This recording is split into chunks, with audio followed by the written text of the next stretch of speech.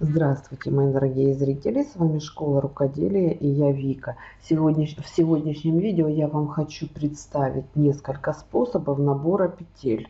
Это не все, конечно же, способы, которые существуют. Что изучила, то вам показываю.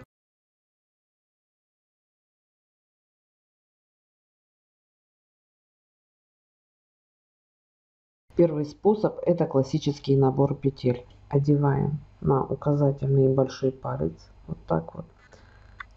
Этими тремя пальчиками нить я держу всегда вот так вот придерживаю. Спицы 2 вместе вводим под нить сверху. И вот так вот оттягиваем. Э, нить я как бы отпускаю по чуть-чуть вводим в образовавшуюся петлю и захватываем вторую нить. Отпускаем с пальчика. И затягиваем сразу получается у меня 2 петли. Далее повторяем. Отводим влево указательный палец. В образовавшуюся петлю вводим спицы и захватываем вторую нить. Затягиваем.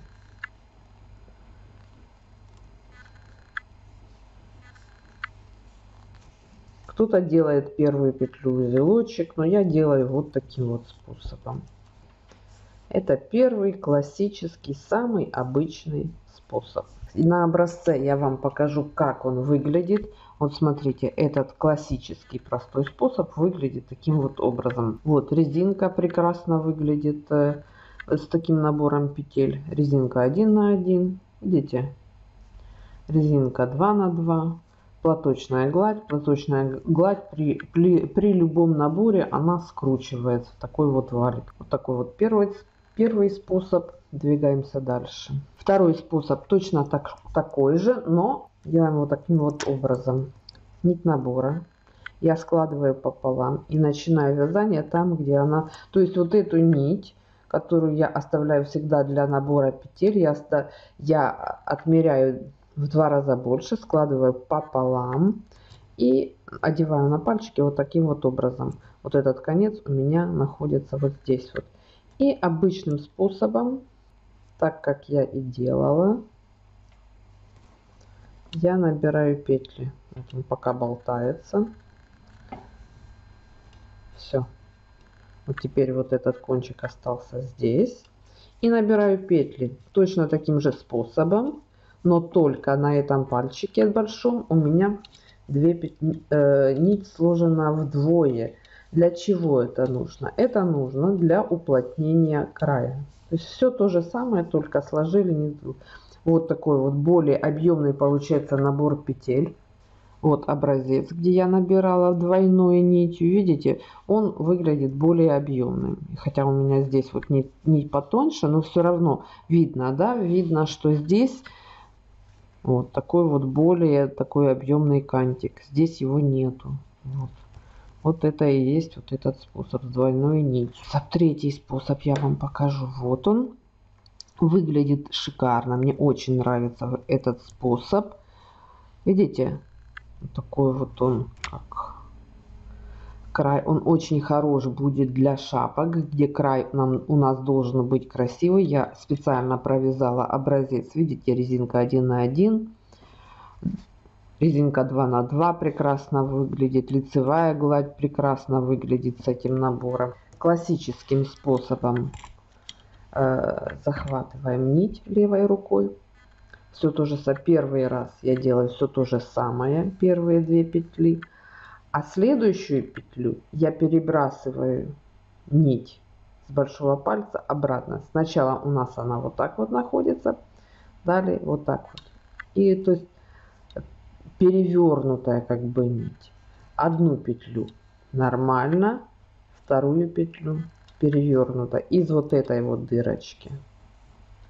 Одну петлю классическую отсюда, вторую петлю отсюда.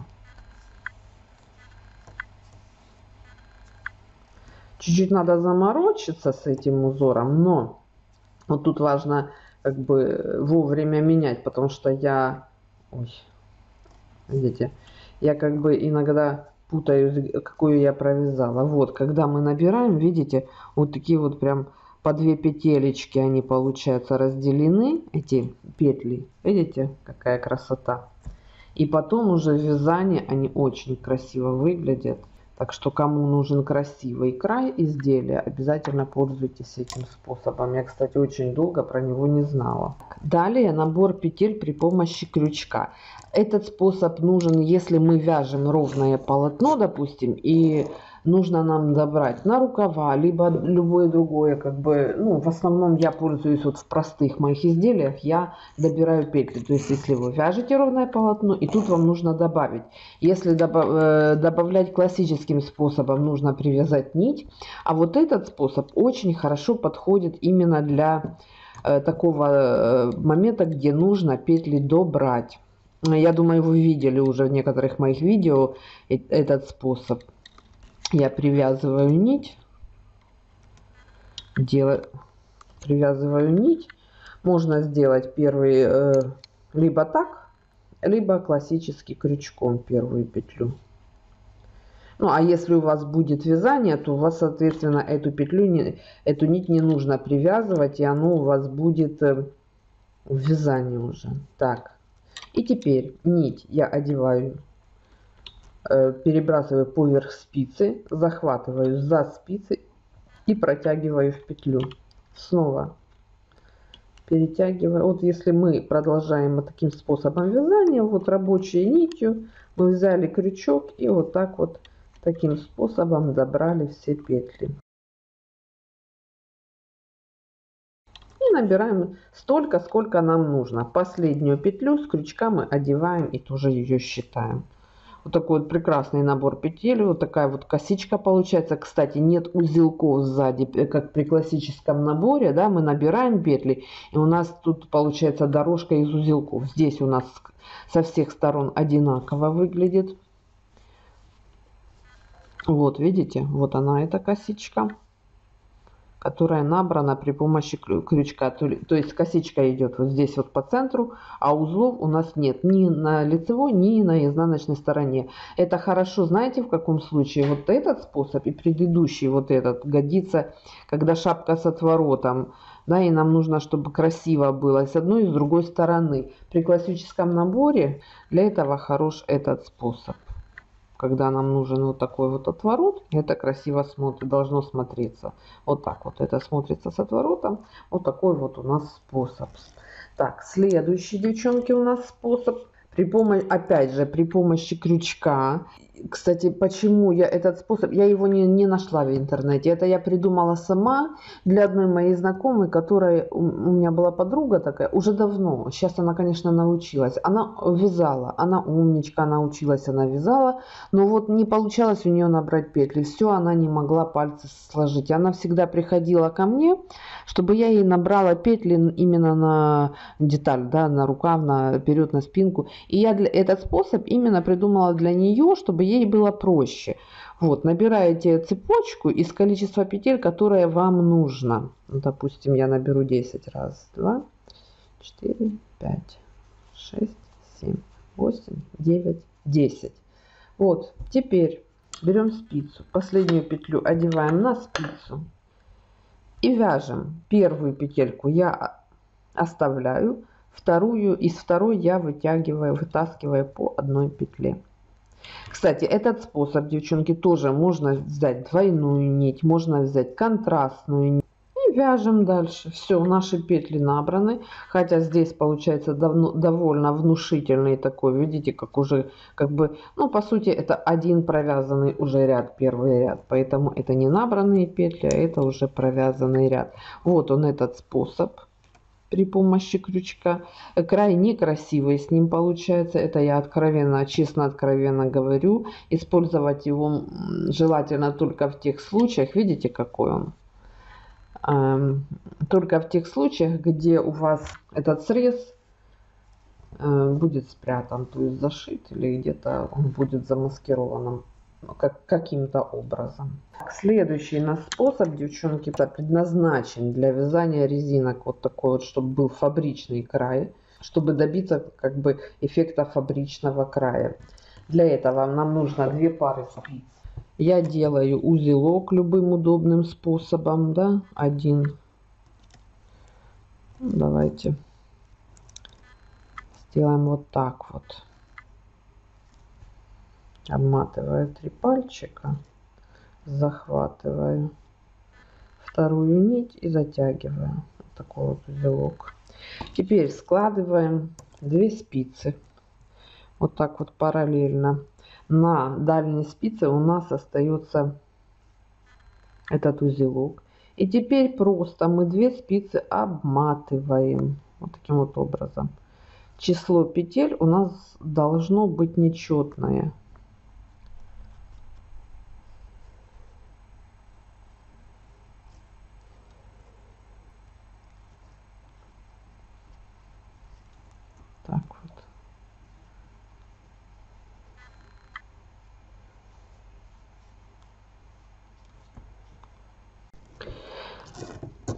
Так, и заканчиваем мы на вот этой первой спице. То есть мы с нее начинали, мы здесь закончили.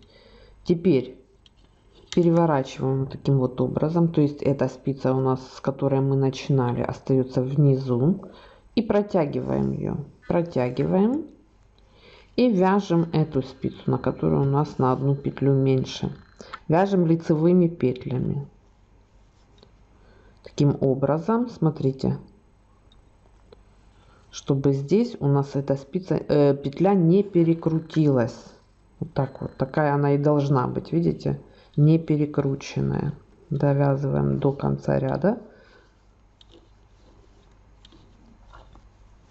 Теперь протягиваем спицу на эти петельки которые у нас внизу. Меняем местами Теперь вяжем эту половину тоже лицевыми петлями.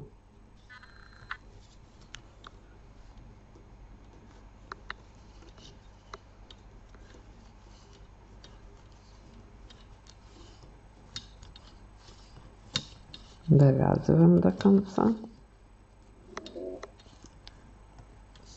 Теперь протягиваем, смотрите, обе спицы протягиваем на эти две половинки петель. Вот так вот у нас должно получиться. Теперь складываем пополам.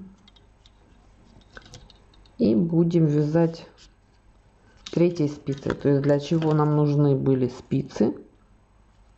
Первую петлю мы снимаем с дальней спицы. Это у нас будет кромочная. С передней спицы мы вяжем лицевую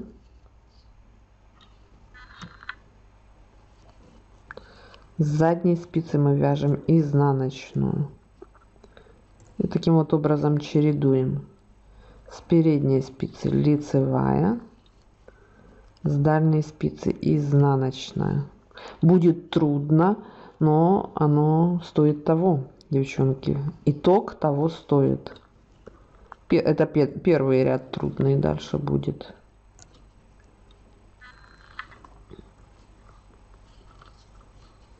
Вот так вот потихонечку продвигаемся.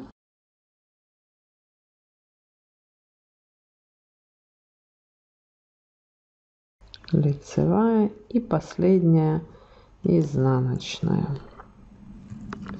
Вот такой вот край. Смотрите прекрасный красивый краешек. Вообще шикарная резинка. Для шапок можно для чего угодно, девчонки. И для свитеров, для низа, чтобы красиво все это выглядело. Вот такой вот способ. Следующий способ. Делаем узел.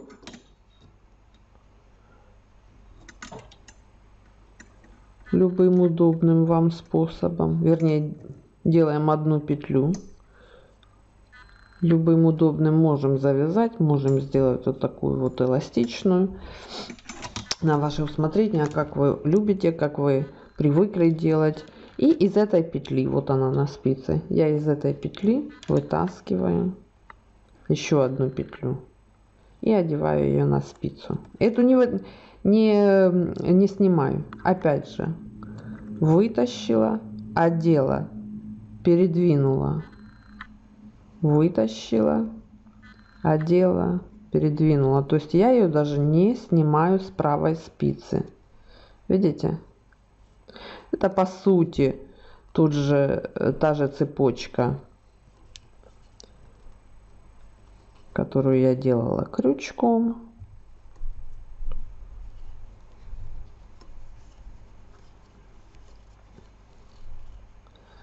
На этот способ у меня образца нету. Я сейчас пару рядов провяжу, потом вам покажу. Ой. Вот так вот они выглядят, эти петелечки. Сейчас я вам провяжу и покажу. Вот так вот, девчонки, это выглядит. Смотрите, обычный набор петель. Ничего, как бы, никакого чуда не случилось. Обычный набор. Вот. Давайте продолжим. Теперь у нас ну, называют его итальянский набор петель. Не знаю, насколько он итальянский. Захватываем э, нить точно так же, как мы в начале в классическом способе захватывали. Хватаем одну нить. И теперь будем делать вот таким вот образом. Перекручиваем ее. Теперь здесь у нас нить, нить наверху. Значит, нам нужно ввести крючок сюда захватить эту нить и вытащить как бы. Теперь вводим крючок сюда, захватываем переднюю нить, вытаскиваем. Вот так вот по очереди сюда, как бы вытаскиваем. То же самое, как мы набираем, но только без захвата. Оно получается, видите, как получается?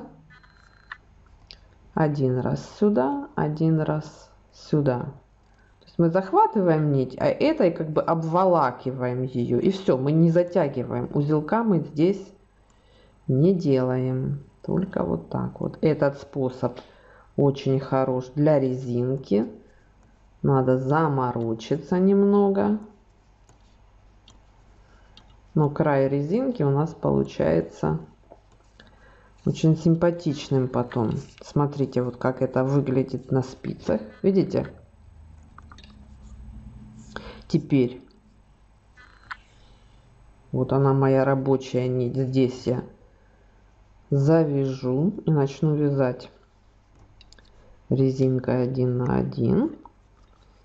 Вот, аккуратненько, первый ряд очень аккуратненько, потихонечку. Теперь смотрим. Видите, вот здесь явно выражено, что это лицевая петля. Ее мы провязываем лицевой. Здесь она, соответственно, изнаночная. Для лицевой глади этот способ будет не актуальным, девчонки. Ничего, я, я считаю, не получится красивого.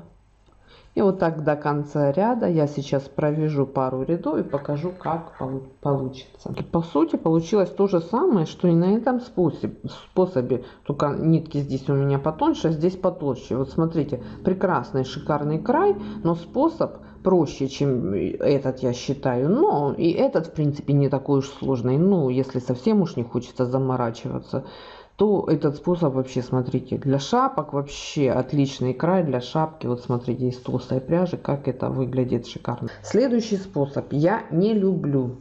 Я не люблю, но, но. В общем, первая петля у нас, первую петлю делаем скользящую. Потом Далее, таким вот образом, на палец накидываю нить и вот так вот набираю.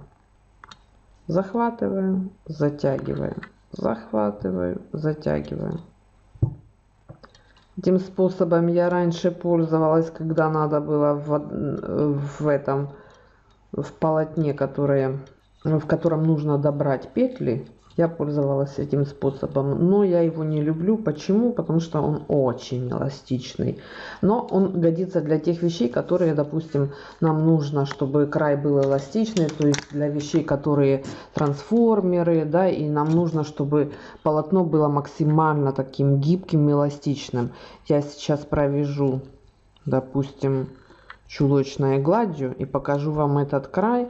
Так что я вам его показываю, а вы имеете в виду вот именно где вы, может, шаль какую будете вязать или шарф, но только набирать по длине э, спицы или снуд, э, петли, допустим, узор какой-то, и вам нужно было, что э, будет, чтобы этот край был как бы работающий, то есть максимально эластичным, чтобы вы могли, чтобы это изделие функционировало так, как должно.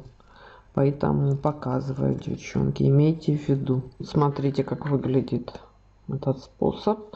Довольно симпатично, но как, как для края неприемлемо, но для изделия, где ну, должен быть эластичный край, вот даже где в рулечек замотать, очень даже ничего. Так что имейте в виду. Следующий способ, девчонки. Берем нить классическим способом. От клубка у нас здесь, э, обрезанный конец здесь. Так, вот первую петлю я вытягиваю. Теперь вот эту нить с указательного пальца подхватываем сзади, опускаем и затягиваем. Нить с большого пальца то же самое. Подхватываем, отпускаем, затягиваем. Так чередуем. Затягиваем. В принципе делаем то же самое, что я делала перед этим но только по очереди с двух нитей.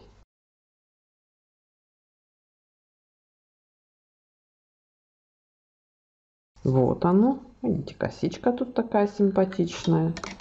Теперь я вам провяжу сейчас кусочек и покажу.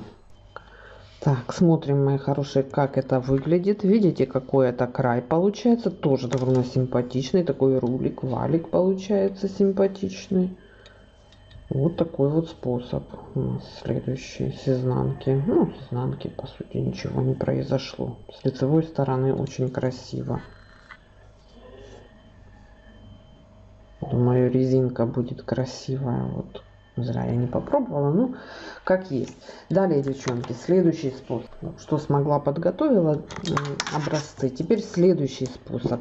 Э, э, в интернете он называется трубчатый набор петель. Так, первым делом беру спицу с, с, при помощи вспомогательной нити. Это не основная нить, вспомогательная. Набираю петли. Петель набираю половину количества, которое мне нужно. Вот, допустим, если мне нужно 20 петель, я наберу 10. Раз, два, три, четыре, пять. Раз, два, три, четыре, пять. Давайте 20, чтобы 40 петель, чтобы вам хорошо было видно. Так, есть 20 петель.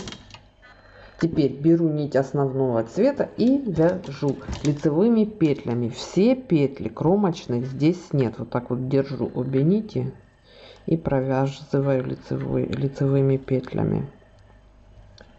Первый ряд лицевыми.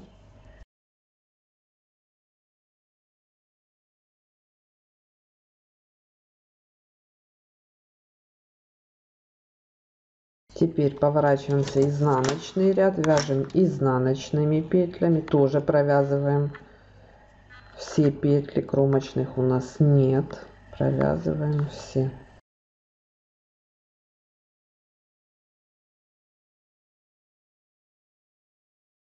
лицевой ряд вяжем. Так и четвертый ряд последний. Теперь смотрите что мы делаем первую петлю. Теперь она у нас будет кромочная. Я ее снимаю и хватаю. Вот смотрите надеюсь вам видно. Вот за эту между петлями за вот эту вот петелечку видите она здесь у меня между между двумя голубыми. Вот эту перемычку и одеваю на спицу и провязываю ее лицевой Далее провязываю со спицы изнаночную. Вот эту перемычку снова поднимаю и провязываю лицевой. Изнаночная, лицевая. И так до конца ряда, видите? Так, и конец ряда. Вот смотрите, последняя петля. И конец ряда, смотрите, последняя петля ее провязываю и изнаночная. Так вот так вот смотрите это выглядит. Теперь я вяжу резинку один на один. Далее. И далее посмотрим. Вот смотрите провязала я э, чуть-чуть э, резинкой. Уже оно все видно. Теперь мы эту вспомогательную нить мы просто ее отсюда вытащим. Вот она хорошо, легко вытаскивается. Можно иголочкой, можно спицей тоньше, как я. Чем вам удобно. Можно крючочком. Вот так вытаскиваем ее до конца. Вот так вот выглядит этот способ. Смотрите, очень красивый. И законченный край получается. Рекомендую им пользоваться. Так, а на этом, девчонки, все. Я с вами прощаюсь. Пишем свои мнения про новую рубрику комментариях. И еще, если интересно, девчонки, пишите мне, какую, какую тему для следующего видео вы бы хотели видеть. Вот 10 способов, допустим, чего-то. Чего не знаю, скажите вы. Все, с вами была Вика из школы рукоделия. Всем пока-пока. А, забыла сказать, ставим лайки, подписываемся на канал. Все, пока.